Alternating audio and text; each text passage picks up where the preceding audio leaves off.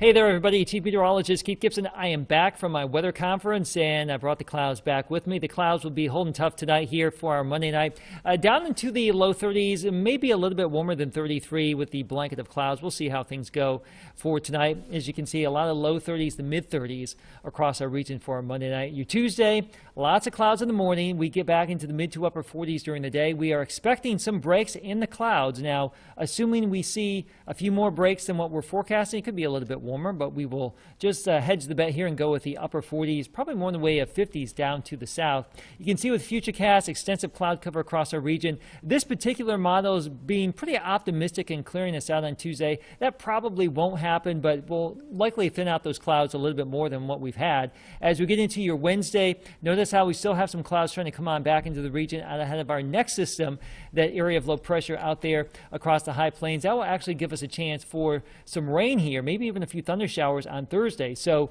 uh, temperatures will be going up. Our rain chances going up later this week. Dry Tuesday and Wednesday, but we should be back into the 50s Wednesday, around 60 Thursday, a chance for some showers and thunder showers, about a 60 to 70 percent chance of rain.